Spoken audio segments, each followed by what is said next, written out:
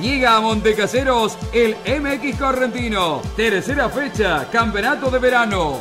Terras A y B, cross promocional, Open y Senior, pistas y el show del cross. Sábado 4 de febrero, desde 15 horas, pruebas libres.